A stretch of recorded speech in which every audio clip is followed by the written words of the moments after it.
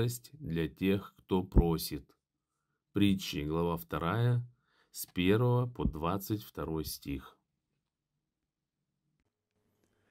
Сын мой, если ты примешь слова мои и сохранишь при себе заповеди мои, так что ухо твое сделаешь внимательным к мудрости и наклонишь сердце твое к размышлению, если будешь призывать знание и взывать к разуму, если будешь искать его, как серебра, и отыскивать его, как сокровище, то уразумеешь страх Господень и найдешь познание о Боге. Ибо Господь дает мудрость, из уст Его знание и разум. Он сохраняет для праведных спасение, Он щит для ходящих непорочно, Он охраняет пути правды и оберегает стезю святых своих. Тогда ты уразумеешь правду и правосудие, и прямоту, всякую добрую стезю. Когда мудрость войдет в сердце твое, и знание будет приятно душе твоей, тогда рассудительность будет оберегать тебя, разум будет охранять тебя, дабы спасти тебя от пути злого, от человека, говорящего ложь, от тех, которые оставляют стези прямые, чтобы ходить путями тьмы. От тех, которые радуются, делая зло, восхищаются злым развратом, которых пути кривы и которые блуждают на стезях своих, дабы спасти тебя от жены другого, от чужой, которая умягчает речи свои, которая оставила руководителя юности своей и забыла завет Бога своего. Дом ее ведет к смерти, и стези ее к мертвецам. Никто из вошедших к ней не возвращается и не вступает на путь жизни.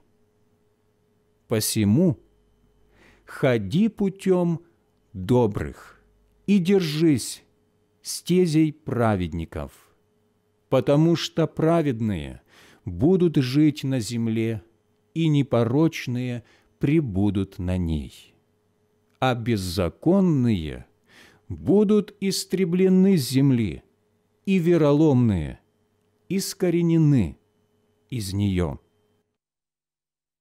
Размышление, часть первая. Самое большое сокровище в жизни. Притчи, глава 2, с 1 по 11 стих. Мудрость не сокрыта, но чтобы найти ее с нашей стороны требуется настойчивость. Мы должны взывать к ней, искать ее, как серебра, относиться к ней как к самому важному по сравнению с другими задачами в нашей жизни – Поступая так, мы откроем для себя самые главные сокровища жизни – страх Божий и познание Господа Бога. Страх Божий – это почтение к Богу, которое приходит от понимания того, насколько мы незначительны и насколько Он велик. Познание Его состоит не только в познании фактов о Нем, сколько в отношениях. Это глубокие личные отношения со всемогущим Богом, который защищает, направляет и водит нас путями праведностями. Что может быть лучше? Применение. Приведите конкретные примеры того, как вы искали мудрости Божьей, как в вашей жизни проявляется Божья защита, которая проистекает из правильных отношений с Ним. Размышление, часть вторая. Спасение для здесь и сейчас. Притчи, глава вторая, с 12 по 22 стих. Слишком много христиан воспринимает спасение ограниченно и неполно. Подобный узкий взгляд сводит действие спасительной Божьей благодати лишь к жизни после смерти. А что насчет здесь и сейчас? Что насчет нашей обычной жизни в этом сложном и запутанном мире? Божья милостивая мудрость, данная тем из нас, кто старательно ищет ее, спасает нас от ловушек этого мира и мин, которые поставлены, чтобы разрушить нашу жизнь, лжи, ведущие на кривые пути или разврата, разрушающего душу, жизнь и отношения, семью и карьеру, Искаженные ценности этого мира ведут людей к разрушению. Но если мы ищем Бога и ходим путями Его мудрости, то, несмотря на бурные времена, в которые живем, можем выбрать правильное направление. Применение. Какие мирские ценности и советы вредят вашей жизни? Есть ли братья и сестры во Христе, которые на пути к Божьей мудрости для их жизни нуждаются в молитвенной поддержке. Молитва дня.